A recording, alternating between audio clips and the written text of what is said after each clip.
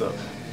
You know you want to be there at the end of games. Uh, you know, how do you how do you feel? You know when you are sitting up and the team wins. Is that? Uh, it's great. It's, it's great when you win. Yeah. You know, obviously, uh, I'm a competitor. And, uh, I want to be out there, but uh, you know, we got so much talent in this locker room that uh, you know, if, if, if once in a while coach decides to not put me out there, uh, I'm still gonna I'm still gonna give my best to. to uh, I'm still gonna give the best energy I can for my team, my teammates, and um, you know, and I, I would expect the same from anybody else. Does that just kind of speak to you know setting a tone of professionalism and character that you guys that you know you guys need to have to be a, a winning team? Yeah, it's maturity, you know, and uh, you know it's just one game, and uh, down the road it's a marathon. You know, we we still got two two two big games that we we got to win, uh, one at a time, obviously. So we're gonna focus on San Antonio,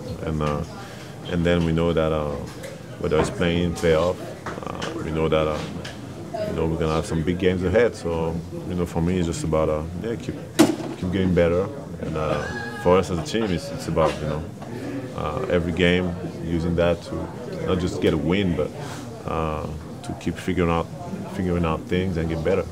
What do you think helped you guys defensively, at least trying to limit them in transition, uh, especially in the second half after they seemed to get out in transition? I thought just our urgency was better. Uh, I thought we did a better job, much better job running back, you know. And uh, and once we do that, it's you know it's half court is a different game. You know, we know that we're capable of guarding, and um, and then it really helps us getting more stops and running on them too.